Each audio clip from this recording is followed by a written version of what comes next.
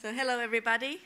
Thank you again for the invitation. I'm very honored to be talking to you about our organization and about what your work that was done here 70 years ago has led in the present moment in our work.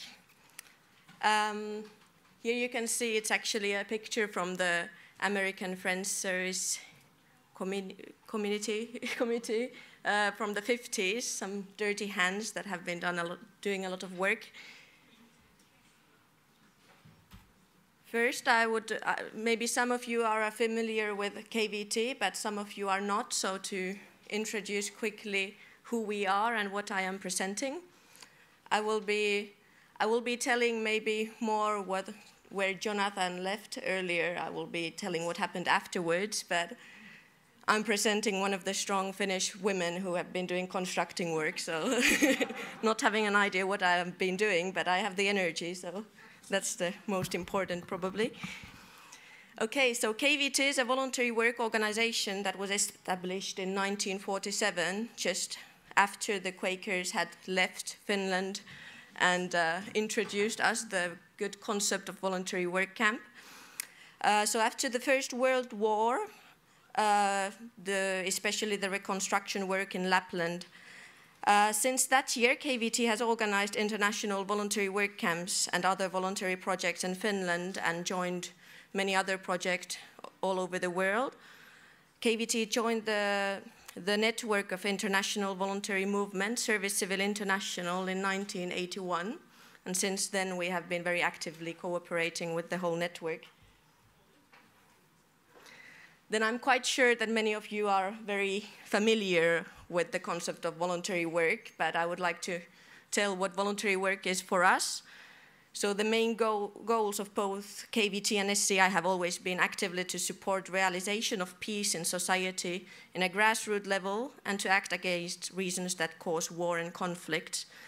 But however, we don't work in conflict areas, but we organize both preventive actions and actions in post-conflict areas so it is important to underline that we don't do relief or charity work, but we promote, promote volunteering as a way of actively reaching towards common, common goals and peaceful society. And uh, work camps are the main way of us to do it. Then if we don't work there where there is war, what is peace for us? Peace for us is uh, not only an opposite of war, but also a realization of people's universal basic needs, identity and well-being, and people's ability to peacefully live together and understand each other. And we wish uh, we think that uh, a work camp and voluntary work done together is a very good way of promoting this kind of this kind of idea. Then to get to the main point. Before I will tell you about what happened in Finland, I would like to tell you a bit what happened in an international level before. So uh, the actions and activities of Quakers impressed the founder of SCI, Pierre Cérésole, a Swiss gentleman who was very actively in the Swiss peace movement. And the main factors of impression in the pacifist work were its practicality and the independence of any political affiliations, race, nationality, and religion, and these are still the most important values in the SCI work.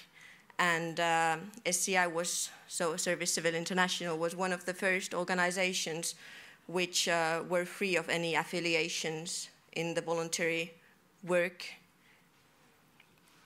Uh, and the actual idea of voluntary work camps was born in a meeting of a pacifist organization, the Fellowship of Reconciliation in 1919 in Holland, where Cérésole was also represented as a delegate of the Swiss peace movement.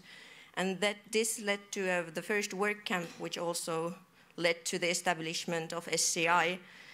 It was organized, the worst, first work camp was organized in Ver, Verdun in 1920, where some of the bloodiest fights of the World War had occurred. This is the picture of Mr. Cérésole.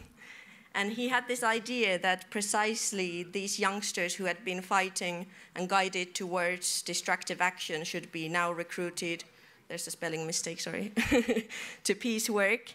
And uh, this led to the idea that youngsters with different backgrounds then gathered in these camps to work together towards a better future while learning from each other and the world that they live in. Service Civil International, so it's the name of the International Voluntary Work Network. Just ask if I forget to open up some terms. and Cérésole then managed to spread this work camp movement into United States from Europe too, and uh, slowly it started to spread in, in Europe and all over the world.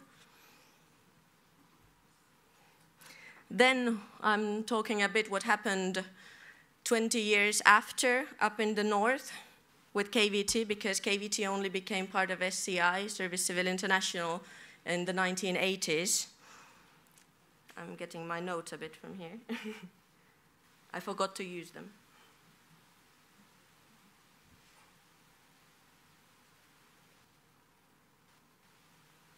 Yes, so the actions and activities of the Quakers, sorry, one point. So in 1945, a representative of the American Friends Service Committee, Douglas Steere, that was mentioned earlier, came to Finland in order to estimate the need of help in Lapland. He was welcomed by KVT's future president, Heikki Waris, who was also mentioned beforehand, who guided him into the current situation of the north of Finland.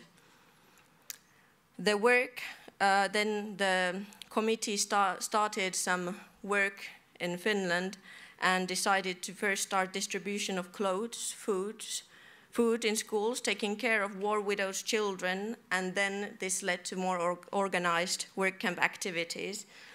And there was also the Quakers from Sweden and IAL, which was also mentioned earlier, who were present in starting these activities and later on to, together founding our organization of KVT. And uh, you mentioned earlier that maybe somebody will have a map. I have a map of, the, of the first work camps that were held in Finland. So in uh, 46, the wor first work camp was organized in Autti, here in Rovaniemi, or near Rovaniemi at least. I was trying to Google the places, as sometimes they fell in the middle of a lake or something that has been put in into place afterwards. uh, and then there was another one in Hirvasvaara in Salla, and there was also a third camp, which was organized in Kittilä. It was coordinated by IAL Sweden. And you can see there's in green the camps, the three camps that were held in 46, and then in red the camps from 47 and purplish the camps of uh, 1948. And the camps were mainly held in Lapland, but in 47, aside of the five camps in Lapland, two camps were organized in central Finland. This was because the office of the, of the uh, American Friends Service Committee was moved into Jyväskylä. And in this area, the main work was helping the evacuees of Karelia with their housing and fields and taking care of their children. And uh, mainly in these camps, the work was constructing work with the strong women. and uh, the dis disabled soldiers, widows, and children otherwise wouldn't have had a roof on top of their heads before the cold winter. And I'm actually quite sad because I just realized that there was a camp in Lieksa this, in, in 1948, and I personally held another camp in Lieksa just three years ago because uh, there's a lot of asylum seekers and refugees that have been placed there, and this was like a friendship camp uh, that we brought a lot of asylum seekers and we were doing activities together with the local people there. And I didn't mention that we had a camp also in 48 to help the people who evacuated from the Karelia area. That would have been a very interesting point, but I actually just got to know this a couple of years ago myself. Next time I will mention it very strongly. Some pictures there's a there's advertisement of the international work camps. Sorry, I made this with a different program, so some of the boxes are a bit in the wrong place. But I find this very funny, the picture of the international gender equal dish crew that was in 47 or 48 in one of the northern Finland camp. and uh, underneath there, there's a picture of people going to work.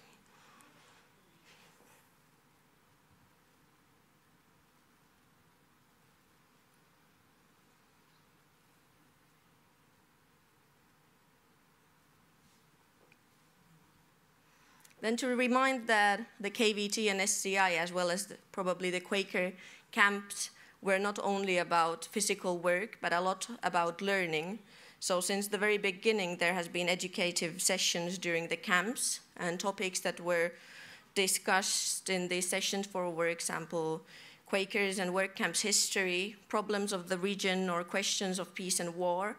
And these kind of study parts are still very important in our work, so we don't just go and do physical work, but of course, among the work, we learn from each other and from different cultures, but then we organize study part from the themes of the camp. And here, a very not so official study part in the picture that we're having.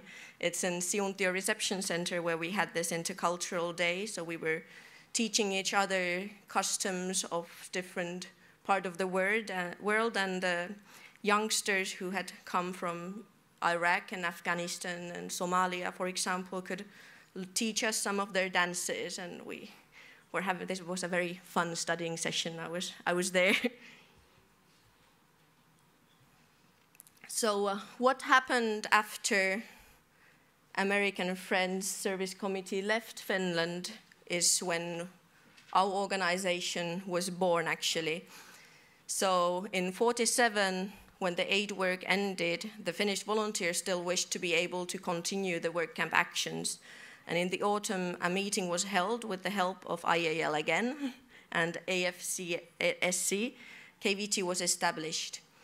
And there was also Douglas Steere who came to this meeting and uh, was, uh, the service committee was helping KVT a lot in these begin times. So there was both financial help, but most importantly, some motivational and expertise help that you provided our organization. And right after the establishment, KVT started to organize study camp seminars. They were very active. I've been reading some journals. Uh, theme camps, events, regular activities aside of the work camps, and already in 48 there was 34 volunteers that were sent abroad. I'm not actually very sure through which through which channels they were sent because we weren't yet part of the SCI movement, but they found their ways. and then, especially after the increasing participation to the camps abroad, the religious dimension of the organization started to fade away from the activities. And I found some diaries where it was actually discussed a lot.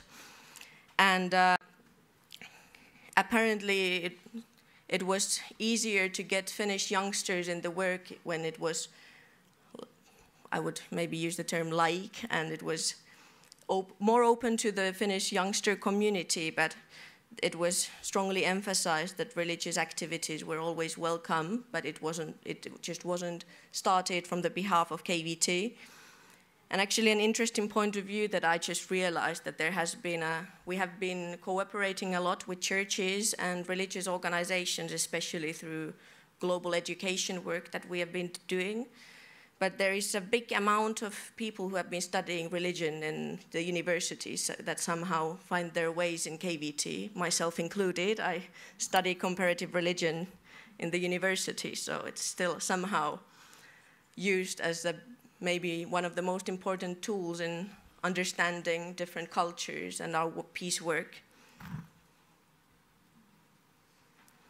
Here um, I find, I actually, I have, um, KVT did 20 years ago almost, a history book of 50, for 50 year anniversary. And um, most of the material that I'm talking about, since I wasn't there, obviously, I wish that you don't think so, that I was there in 47. so I've done my history work. and uh, most of the information I found from this history book. And I was so, we have a lot of material in our archives, and I was so happily going through the archive that I actually forgot to bring the book. But that exists. I have a lot of material that is downstairs.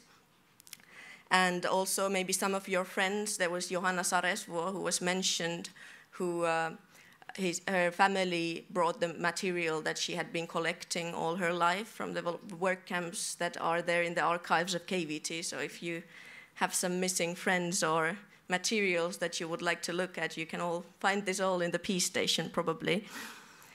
So in the camp of 46, there was Bill Fredriksson that said in one of the work camps that people thought we were vacationists. Then when we worked, thought that we were paid. And then when we weren't paid, thought that we were forced labor prisoners. And then they began to understand that we were doing it out of love of, for others. So it wasn't obvious to think that people were just coming to help out of free will.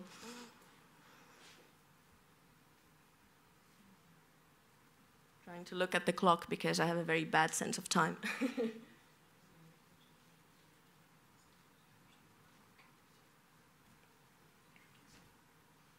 then to show you what we are doing now, because this was, we were cooperating maybe for five years in the beginning, but this created something very big for us. We're maybe one of the oldest voluntary work organizations in Finland.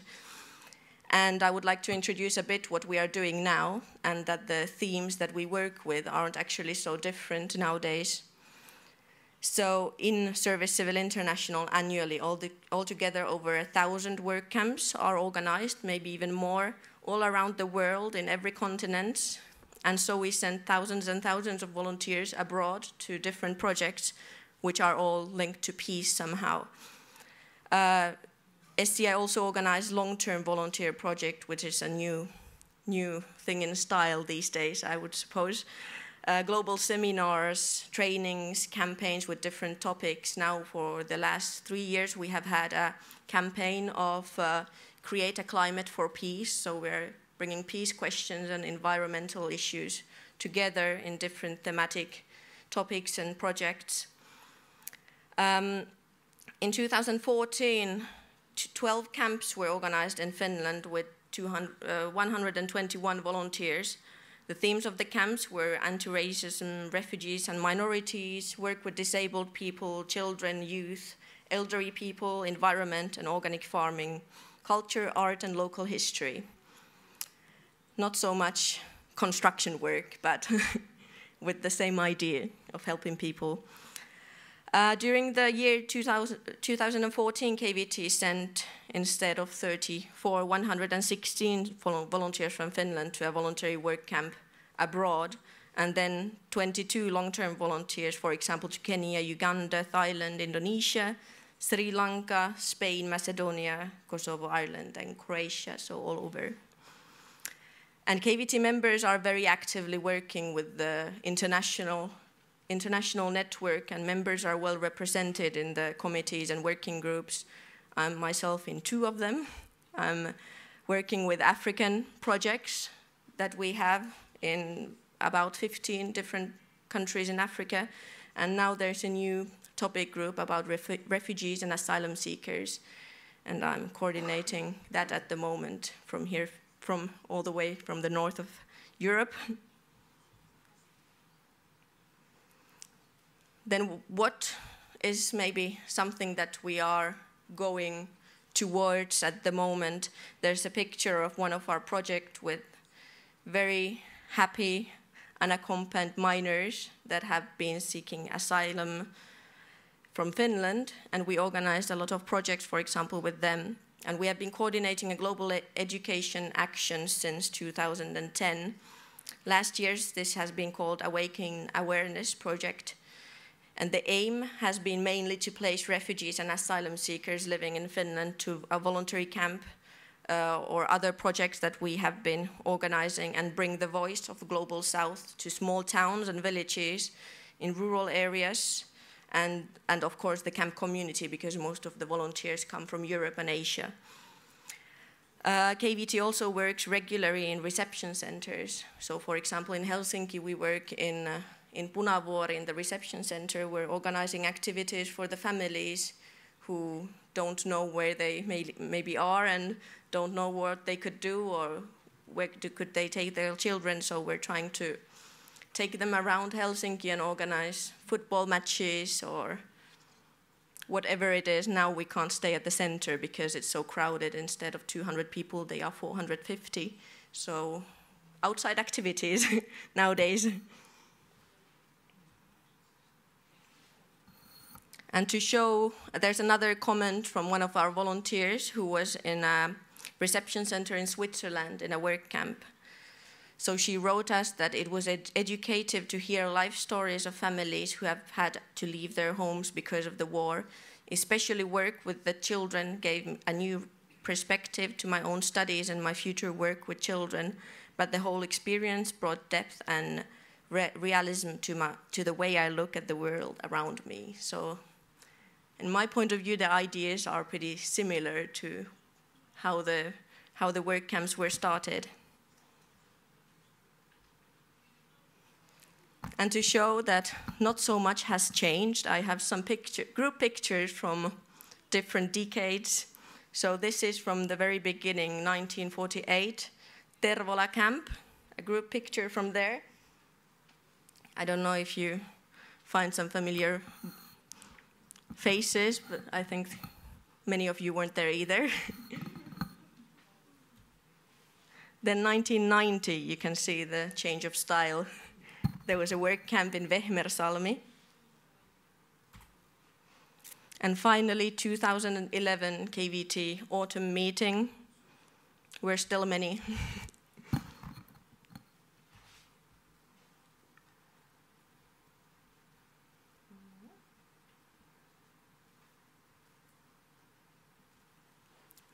So I think that even though the themes are very different and there is no war at the moment in Europe, not the same, same topic that started the whole work camp movement, war is still an, as a opposite to peace present also in, in Europe. And now we're facing the, the biggest crisis that we're facing is the refugees and asylum seekers who are crowding in Europe. And what, that is also one of our biggest themes today, what we are working with.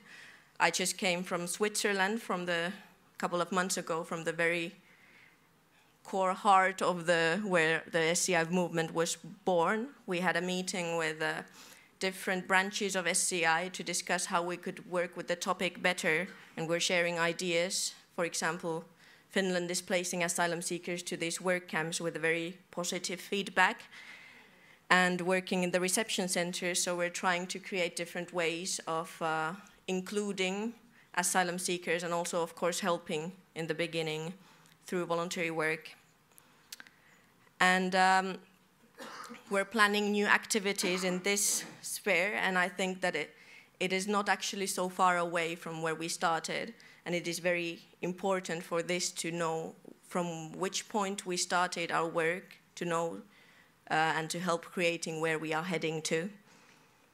And uh, as some of you might be able to calculate already, calculate already, we are also celebrating our, some of our annual celebrations very soon. So next year it will be 70 years from the first work camp that was held with KVT, which wasn't yet KVT, but however. and then the year after we will be having our 70th cele annual celebration where of course all of you are welcome. I don't know yet how we are going to exactly celebrate. I'm part of the committee who's planning it, so maybe I will get some new ideas from here. Um, I, would, I have a video, 40 seconds, to show where our volunteers have just mentioned by one word what KVT means to them.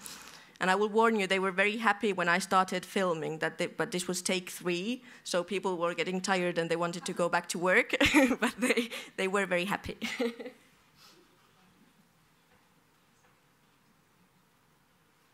know it's wrong computer, of course.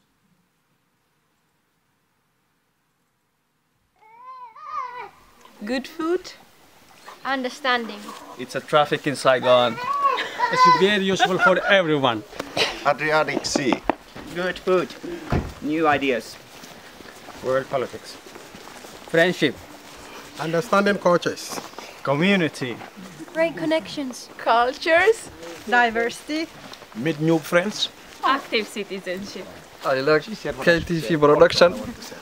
A new family. Um, happiness. A lot of new family members. Good moments. Peace and love. Lovely friends.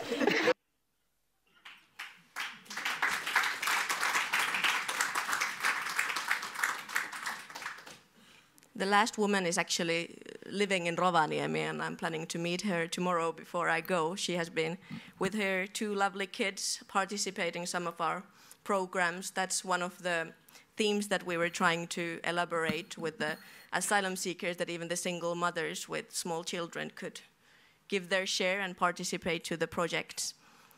So thank you. I'm free for questions until tomorrow, and I hope that we will discuss these matters together too. Thank you.